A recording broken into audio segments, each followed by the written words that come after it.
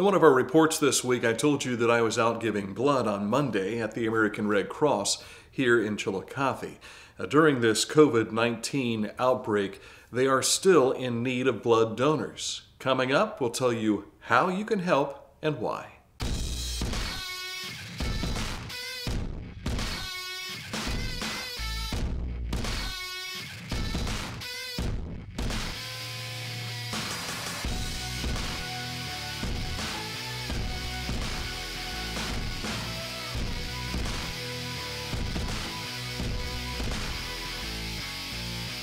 Rod Cook is the executive director of Ohio's East South Central region of the American Red Cross. He says though we're staying home, the Red Cross still needs blood donors.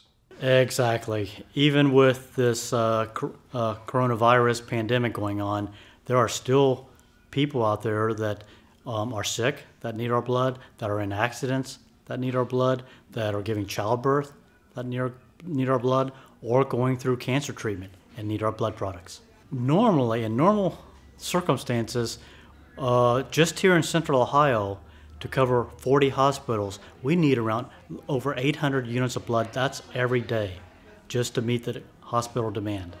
And what is, as you can imagine, Dan, what's been happening over the last couple of weeks is we have lost literally hundreds of blood drives, which is almost almost 20,000 units of blood, potential units of blood that we've lost. So that is why we are um, strongly encouraging any healthy individual out there that can donate blood to please do so.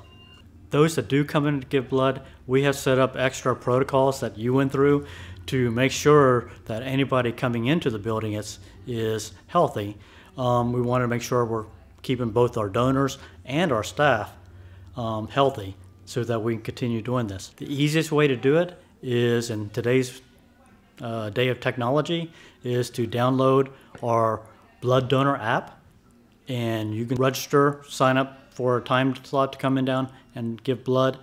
You can also access what we call Rapid Pass, which is a way to kind of speed up the process as you come through.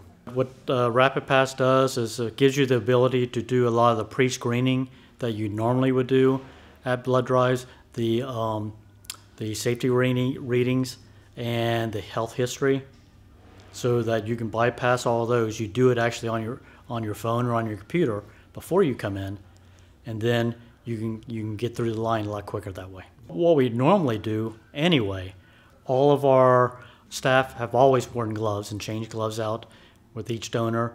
We've always had very strict health precautions per the FDA. That's for our normal blood drive. On top of that, we're pre-screening folks before they come in. We're taking temperatures. Um, we have signage on the door that we're asking people to read. Think about three questions, how they've been feeling in the last couple days, etc., before they even enter the building. Once you get inside where all the beds are, we're keeping the, the chairs that you sit in to wait, we're keeping those six feet apart. Um, staff is maintaining as best as possible the six foot uh, distance, except for when they have to go and, and actually um, work with a client that's in the bed. And we're scrubbing down all the equipment, the beds, everything, sterilizing after each donor comes through.